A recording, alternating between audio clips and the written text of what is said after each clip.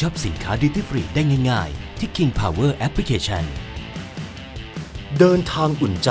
ปลอดภัยไปกับกรมทางหลวง ชอบของอร่อยต้องชอบไทยทิพย์มีจำหน่ายแล้วที่ร้านค้าชั้นนำ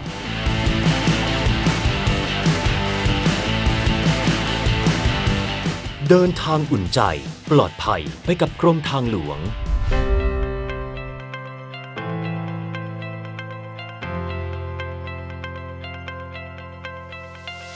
อนนี้เราก็อยู่กับลุงวิชัยนะครับ คือเจ้าของสวนโกโก้ที่เชียงใหม่นะครับที่แม่ออนเชียงใหม่ ตอนนี้ผมก็รู้จักกับลุงวิชัยมานานแล้วนะครับ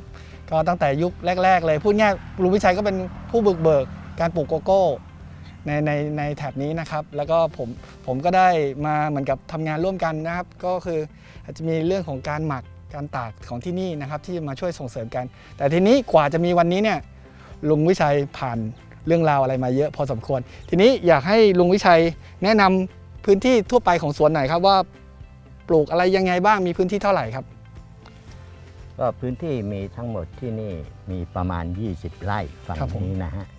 ก็ปลูกเอ่อโกโก้ทั้งหมดประมาณ 4,000 ต้น แล้วก็ระบบน้ำเป็นหัวใจของโกการปลูกโกโก้ ถ้าใครจะปลูกโกโก้นี่ถ้าไม่มีน้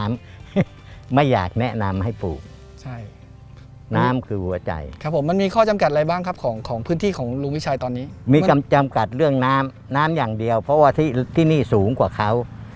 เอ่อปีนี้ผมต้องลงทุนคือเจาะบาดาล เอาน้ำขึ้นมาให้ให้ได้ใช้หน้าแรงปีหน้าเพื่อสู้กับเอ่อผลผลิตครับผม อ่าแล้วโกโก้ของสวนลุงวิชัยกี่ปีแล้วครับตอนนี้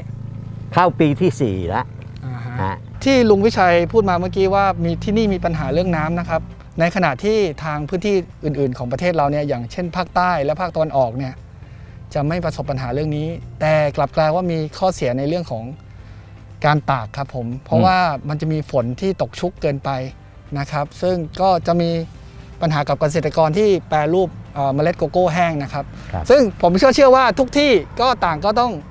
เรียนรู้และแก้ปัญหาไปตามบริบทเนาะใต้ก็มีปัญหาอย่างหนึ่งครับทางเหนือนี่ก็มีปัญหาอย่างหนึ่งครับผม เพราะฉะนั้นก็ต้องแก้กันอยู่ตลอดใช่เวลาครับ ตอนนี้ อย่างช่วง 3 เดือนที่แล้วเนี่ยครับไม่มีน้ำเลยทำให้โกโก้ขาดต้นขาดขาดคอเลยขาดธผรลรมผลิตดานะช่วงนี้อืม ใช่ธรรมตอนนี้ดานี่เริ่ต้มองเต็มเนาะเริ่มดีแล้วตอนนี้เริ่มดีเพราะได้ฝนเข้าหน่อยก็เริ่มมีดอกใหม่เดี๋ยวเราไปดูสวนกันไหมครับลุงครับพิชัยเชิญเลยครับนำเลยครับเอ่อของที่นี่นี่ผมจะใช้ ผมจะใช้แต่มูลสัตว์ อืม ไม่ใช้ปุ๋ยเคมีเลย ครับผม ทุกอย่างใช้มูลสัตว์หมด ครับผม ต้นที่นี่ก็ค่อนข้างจะสมบูรณ์นะครับ อาจจะมีบ้างแล้วนี่มันเกิดอะไรขึ้นครับ ถึงถึงโน้มเอียงนี้เพราะว่าต้องค้ต้องค้ำำเวลานะเวลาเขาลูกเขาหนักมากต้องครับผม ค้ำไม่งั้นกิ่งจะหัก ยังใช่มีปัญหาอย่างพวกเนี้ยกิ่งที่หักครับส่วนหนึ่งถ้าถ้าในมุมมองของผมนะอาจจะจริง ๆ แล้วตั้งแต่ตอนเริ่มต้นนะครับสำหรับคนผู้ปลูกอาจจะต้องเลือกเอากิ่งกิ่งหลักไว้หลักๆนะครับ ถ้ามีกิ่งเยอะเกินไปมันก็จะมีน้ำหนักที่กิ่งกิ่งหลักเนี่ยแบกรับน้ำหนักมากเกินไป ก็อาจจะทำให้อย่างที่บอกต้องมาหาไม้ค้ำอะไรอย่างนี้แทน ซึ่งในกรณีถ้าเจอลมแรงๆ เคยเจอลมแรงๆไหมเจคอรับลมแรงๆ เจอลมเยแรงๆ มันก็สามารถโค่นได้นะพลิกบางได้ทีก็ฉีก บางทีก็ใช่ อันนี้ล้มคือ ใช่ นี่คือสิ่งที่เกษตรกรต้องต้องระวังนะครับ ในการตัดแต่งกิ่งตั้งแต่ตอนต้นเลยนะครับ แล้วก็ที่นี่ใช้ปุ๋ยอะไรบ้างนะครับ ผมใช้ปุ๋ยมูลสัตว์ อย่างที่นี่ให้ทิ้งช่วงให้กี่เดือนครั้งนึงครับ4เดือนครั้งหนึ่งครับผมครับผมแล้วก็ต้องคำนึงถึงความปริมาณแร่ธาตุในดินด้วยเนาะว่ามันมีถ้ามันเพียงพอแล้วก็อาจจะไม่ต้องแบบครับตะบี้ตะบันอัดใส่ขนาดนั้นนะครับ จริงฮะๆต้องวิเคราะห์ดินด้วย นะครับ เดี๋ยวเราค่อยๆคุยกันไป แล้วลุงที่นี่ลุงวิชัยเจอแมลงอะไรบ้างครับ แมลงก็มีอยู่เอ่อเนี่ยช่วงเนี้ยกำลังจะเริ่มเข้ามาแล้ว ครับผมเป็นแมลงปีกแข็งครับผมที่เขาเรียกพวกด้วงด้วงนะคด้วรับงโอสีเค สีตัวสีแดงแดงๆมีใช่คจุรับดซึ่งซึ่งดำปกติด้วงมันจะมาเจาะตามลำลักษณะคือมันจะมาเจาะตามเจาะลำต้นเนาะเจาะตามเปลือกเลย ครับผม กินเปลือกที่ต้นนี้ที่กิ่งเลอ๋อยนี่สำหรับต้นที่ใหญ่ครับ แต่ถ้าครับต้นเล็กๆนะครับ ก็จะเจาะลำต้นครับ แล้วก็พัฒนาตัวเองเป็นหนอนนั่นแหละเป็ระวังดักแอยู่ตัวครับนั้นเท่านั้นเพราะว่าองเท่ากับต้นโกโก้ต้นนั้นจะตายไปเลย แต่ถ้าต้นใหญ่ส่วนใหญ่ก็จะมาจัดการกับตามกิ่งพวกเนี้ยครับ แก้ แก้ไขเออ โดย ผมไม่ใช้สารเคมี เพราะที่นี่ไม่ได้ใช้อยู่แล้ว จะใช้ก็อย่างเดียวก็คือจับ จับแล้วก็ใช้ตาข่ายดัก เพราะว่ามันไม่มากครับ อ๋อใช่ มันเป็นตามแค่ฤดูเองเออแค่ฤดูมันเอไม่งใช่บอกที่มีตลเขาอดจะเวลาออกมาผสมพันธุ์แล้วก็เขาจะจะวางไข่ไว้กับโคนต้น ใช่ครับ แล้วที่นี่ครับมีช่วงการเก็บเกี่ยวยังไงบ้างครับ การจัดการของสวนของลุงวิชัยครับเออผมจะเก็บทุกๆวันจันทร์อ๋อฮะทุกวันจันทร์เก็บหนึ่งครั้งครับผมเพราะว่า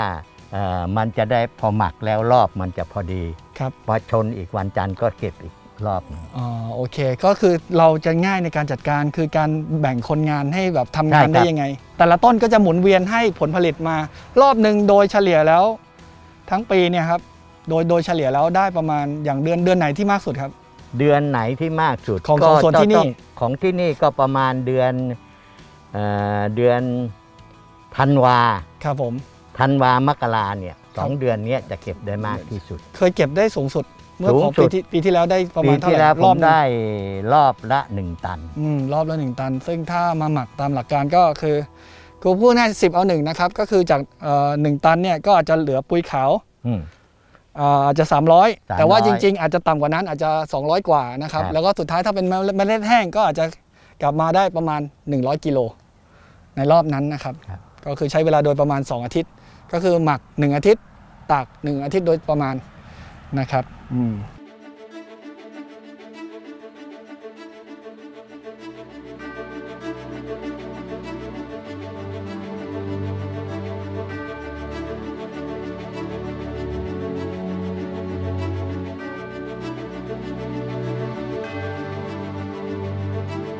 อันนี้ตากมากี่วันแล้วครับลุงสาม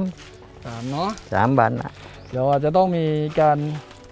คัดเมล็ดยู่ต้องบ้าคัดต้องเอาไปเพคัดราะว่าตอนนี้มีเมล็ดเล็กเยอะมากมีซึ่งรีบอะมีไม่ใช่รีบเพราะว่าส่วนหนึ่งก็อายุยังยังไม่ได้มากนี่ขนาดลุงวิชัยดูแลอย่างดีนะอืมแต่ก็นั่นแหละยังมีปัญหาเรื่องเนี่ยอย่างที่บอกมันมาตั้งแต่แบบนี่แหละ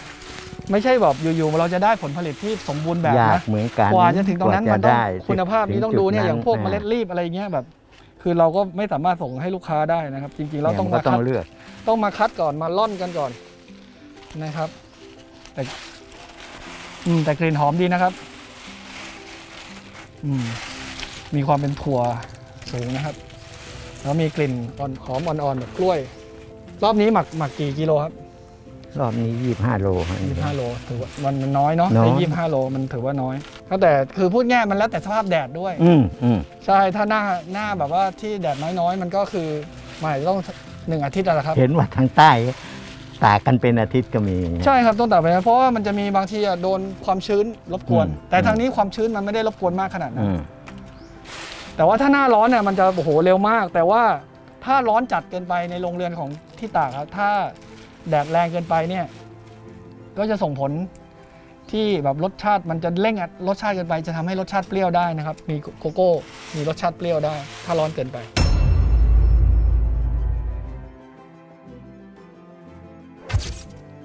จริงๆคำว่าโกโก้เนี่ยนะจากโกโก้แต่ละที่เนี่ยพอมาแปลงแปรรูปเป็นช็อกโกแลตเนี่ย